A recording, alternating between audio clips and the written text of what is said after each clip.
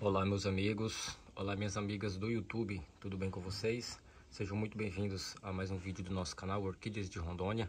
Aqui é um canal que você pode aprender a cultivar orquídeas de uma maneira simples, fácil e prática, sem complicações nenhuma. E o melhor de tudo, com a aplicação de produtos naturais, igual vai ser mostrado no vídeo de hoje.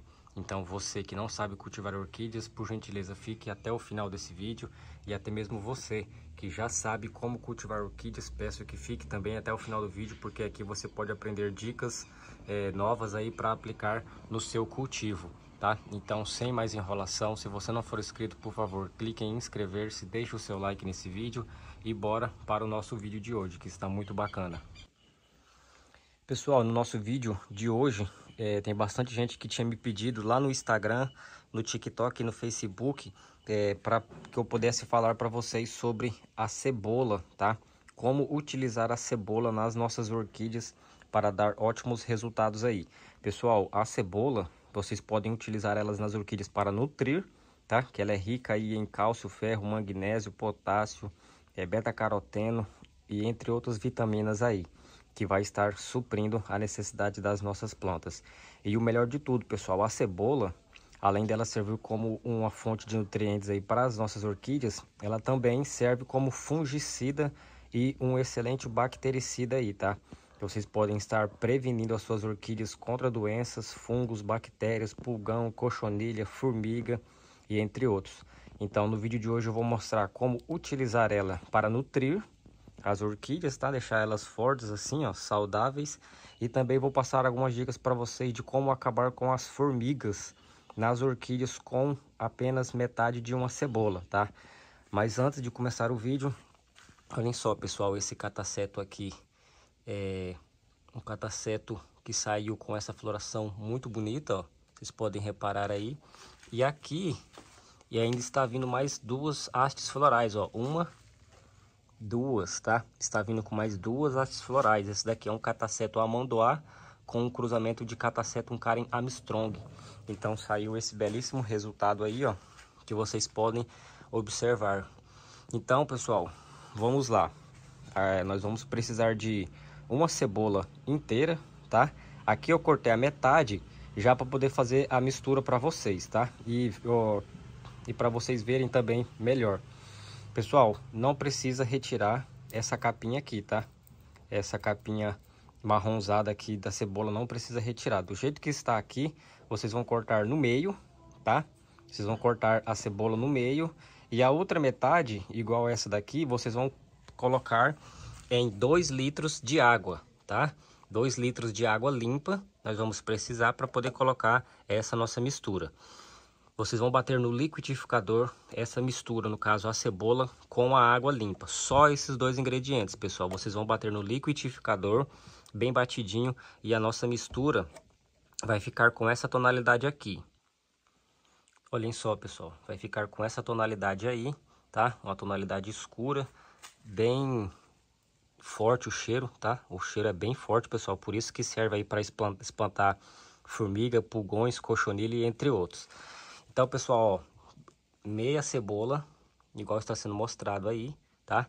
Meia cebola para 2 litros de água, beleza? Feito isso, pessoal, é, como que nós podemos fazer a primeira forma de aplicação dessa mistura aqui, tá? Eu vou pegar uma orquídea aqui, vou pegar essa dendóbrio aqui, que é uma planta que está pequena ainda, está começando a se formar, Vou colocar ela aqui, dá para vocês verem bem aí. Pessoal, essa daqui é a primeira forma de aplicação, tá? Bateu toda a mistura no liquidificador, pode vir aqui, ó, no substrato dela aí, ó. Vocês podem reparar, eu vou puxar o zoom para vocês verem aqui, ó.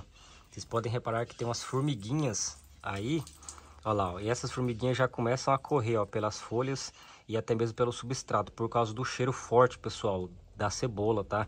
Então vocês podem fazer essa aplicação nas suas orquídeas. Coloquei só essa quantia porque é uma orquídea pequena, tá? É uma planta pequena que é, não está 100% estabilizada aqui. Quando ela tiver do tamanho desse bulbozinho do lado, aí sim eu posso fazer outra aplicação com uma quantidade maior e melhor, tá? Agora eu vou colocar ela aqui. Vou pegar esse cataceto que está plantado na pedra brita com a casca de arroz carbonizada. Olhem só, pessoal. Já está vindo com uma haste floral ali, tá? E essa, esse daqui, pessoal, já é um vaso maior, tá? Vocês podem reparar. Então, como que nós vamos fazer a aplicação dessa quantidade aqui, nesse vaso que é maior? Vocês podem colocar aqui, ó. Pronto, pessoal. Essa quantidade aqui também já está perfeita. Pessoal, passando, jogando assim no substrato, vai fazer com que as raízes lá de baixo puxem todos os nutrientes. E se tiver formiga, pulgão, cochonilha aqui, vai espantar elas. Mas esse daqui não é o método que eu vou ensinar para vocês de como espantar formigas aí do substrato, tá? Das orquídeas. Esse daqui é o método de aplicação para nutrir a planta, tá?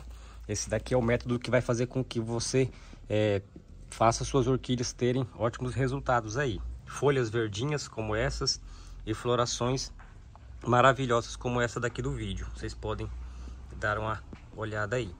Então, pessoal, agora eu vou mostrar para vocês a forma que eu falei para espantar formigas, tá? Aí das nossas orquídeas. Olhem só, pessoal.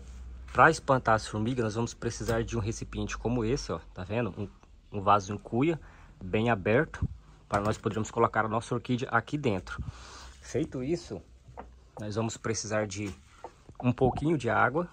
Antônio, qual a quantidade de água que você está colocando aí? Pessoal, aqui eu não coloco quantidade, tá? Eu, é, por quantidade, ah, 100 ml, 300 ml. Eu só coloco um pouquinho, tá? Igual está sendo mostrado aí. O porquê de colocar esse pouquinho para concentração não ficar muito forte, tá? E depois eu venho e acrescento a água com cebola. Pronto. Feito isso, pessoal, o que, que nós vamos fazer agora? Vamos pegar aqui, tá? É uma orquídea. Pode ser qualquer orquídea. Eu vou pegar é, essa catleia aqui, tá? Vou pegar essa catleia. Olhem só. É, essa catleia, pessoal, está plantada no chips de coco, casca de arroz carbonizada, pedaços de casca de pinos e pedra brita. Vou colocar aqui, ó, desse jeitinho. Vocês podem reparar que é uma planta que está bonita, ó, bastante folhas e brotos, tá? Brotações, olha lá, bastante brotações. E pessoal, esse processo de deixar ela de molho assim, o que que acontece? Esse processo de deixar ela de molho assim, pessoal, faz com que é, afogue todo o substrato. Ah, Antônio, vai matar as raízes. Calma lá, pessoal. Vocês vão deixar elas assim cerca de 15 minutos, tá? Feito isso, pessoal, todo o substrato dela aqui vai ficar sufocado com essa água de cebola, tá? Por o cheiro ser muito forte, vai acabar matando é, formigas, conchonilhas, pulgões e outras bactérias que tem aqui no substrato. Até mesmo aqueles gonguinhos, aqueles piolhos de cobra que bastante gente fala para mim que fica fazendo morada aqui no substrato. Vai acabar com tudo, pessoal, e vai espantar eles também. Vocês podem deixar aí cerca de 10 a 15 minutos dessa forma aqui. Quem quiser encher até aqui assim, ó, pode encher, tá? Até aqui, eu só não enchi. Por quê? Porque eu vou usar aquele restante ali para falar para vocês outra maneira. Se vocês encherem até aqui, é melhor ainda, que vai é, sufocar tudo mais rápido ainda. Do jeito que está aqui, pessoal, o substrato vai sugando, tá? Bem devagarzinho ele vai sugando de baixo para cima. E daqui cerca de 10 horas, 10, 10 horas não, perdão, daqui 10 minutos todo o substrato já vai estar encharcado com essa água de cebola. Então as formigas e pulgões, cochonilhas, bactérias, tudo que tiver aqui na planta vai ter que dar um jeito de sair fora daí, tá? Então essa daqui é uma das maneiras que vocês podem utilizar a cebola nas orquídeas para acabar com bactérias, pulgões, cochonilhas e formigas, tá? E aqui está, pessoal, a nossa última forma de utilizar aí a água de cebola nas orquídeas. Vamos colocar ela no borrifador, tá? E vamos ver nas folhas. E ó, pode fazer aí a aplicação nas folhas das suas orquídeas sem problema nenhum, tá? Coem, pessoal. É muito importante que vocês coem com, com um pano, tá? Para poder ficar bem fininha a mistura e não entupir o seu borrifador aí, tá? Pode vir, ó, nas folhas também. Por cima, por baixo, pessoal, não tem problema. Esse processo aqui vai é, fazer com que limpe as folhas das suas orquídeas, tá? E vai eliminar fungos e bactérias que também possam estar alojados aí nas folhas delas.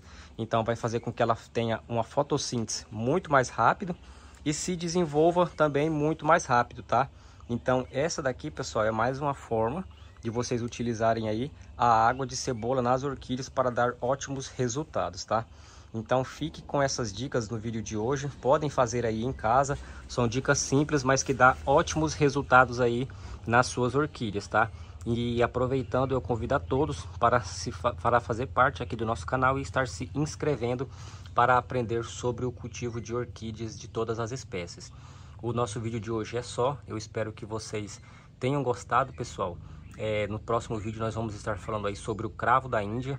Então se você não quer perder esse vídeo, clique em inscrever-se aqui embaixo. Não se esqueçam também de ativar os sininhos e as notificações para não perder nenhum dos nossos conteúdos, tá ok? Olha só, mais uma floração masculina e feminina, tá pessoal? Essa floração de cima é, é feminina e essa de baixo é masculina. Então, esse é o nosso vídeo de hoje. Muito obrigado a todos, pessoal. Fiquem com Deus, um grande abraço e até o próximo vídeo.